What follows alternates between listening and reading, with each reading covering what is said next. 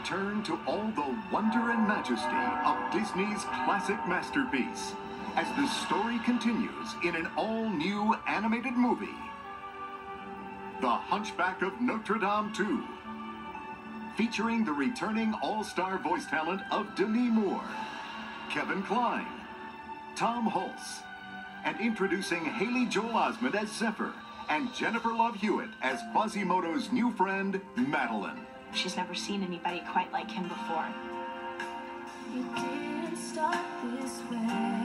I played Madeline in the movie. She's very insecure and doesn't particularly feel pretty or confident or anything like that. And he thinks she's beautiful and amazing. Maybe someone could love me.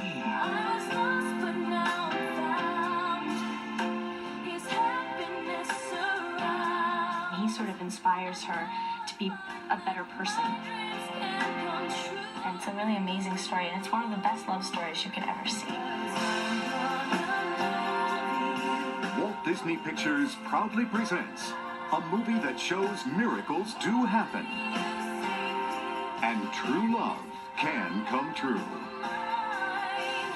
I think it's going to be a fantastic movie. I think it's going to be something that you want to have in your house so that you can watch it over and over again. It's a really sweet story.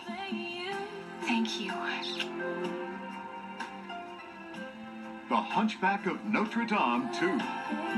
Premiering only on video and Disney DVD, March 19th.